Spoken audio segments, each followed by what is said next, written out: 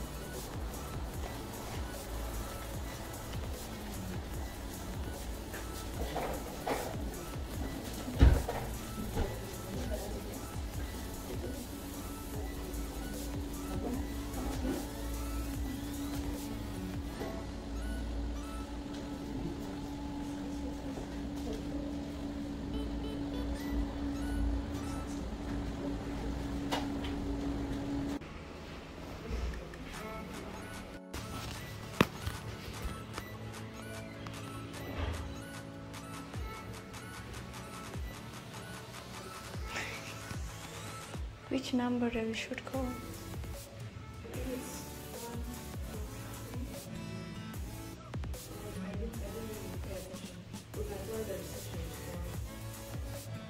Let's wait around five minutes.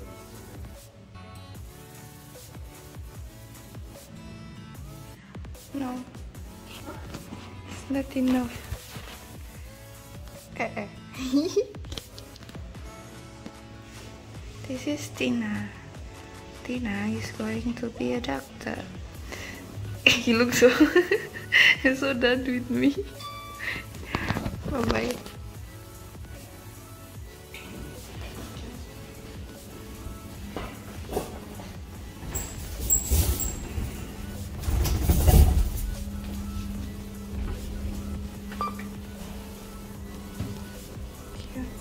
So guys, we're done for today.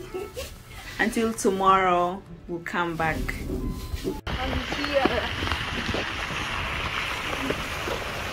Please. Okay.